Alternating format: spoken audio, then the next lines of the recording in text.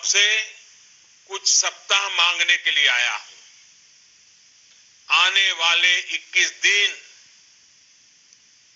हर नागरिक के लिए, हर परिवार के लिए बहुत ही महत्वपूर्ण है।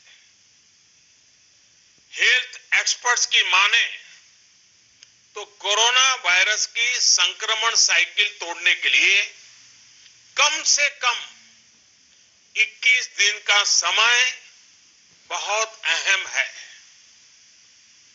अगर ये 21 दिन नहीं संभले तो देश और आपका परिवार 21 साल पीछे चला जाएगा। अगर ये 21 दिन नहीं संभले तो कई परिवार हमेशा हमेशा के लिए तबाह हो जाएँगे। और मैं ये बात एक प्रधानमंत्री के तौर पर नहीं, आपके परिवार के सदस्य के नाते कह रहा हूँ। इसलिए बाहर निकलना क्या होता है, ये 21 दिनों के लिए भूल जाइए। घर में रहे, घर में रहे और एक ही काम करे कि अपने घर में ही रहे। साथियों, आज के फैसले ने देशव्यापी लॉकडाउन ने आपके घर के दरवाजे पर एक लक्ष्मण रेखा खींच दी है।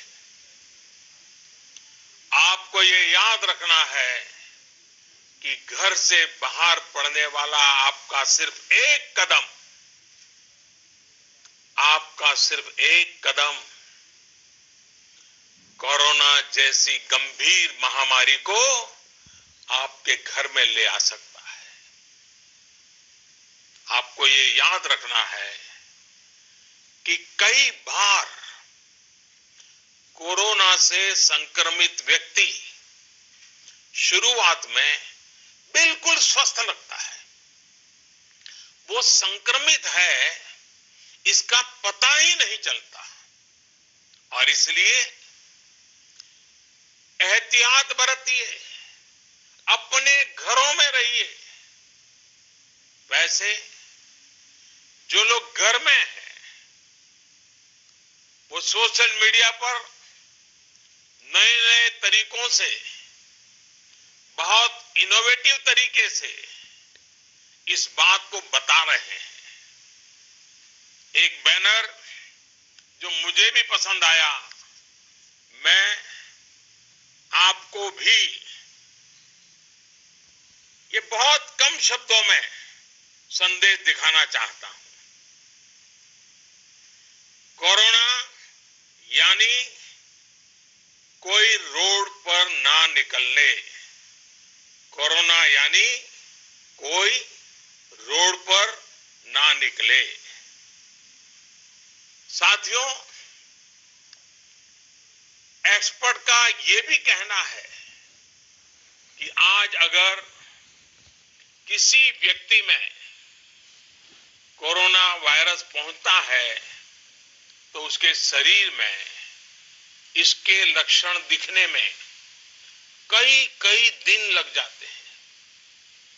इस दौरान वो जाने अनजाने हर उस व्यक्ति को संक्रमित कर देता है जो उसके संपर्क में आता है। वर्ल्ड हेल्थ ऑर्गेनाइजेशन की रिपोर्ट बताती है कि इस महामारी से संक्रमित एक व्यक्ति, सुनिए, एक व्यक्ति सिर्फ़ हफ़्ते दस दिन में सैकड़ों लोगों तक इस बीमारी को पहुँचा सकता है।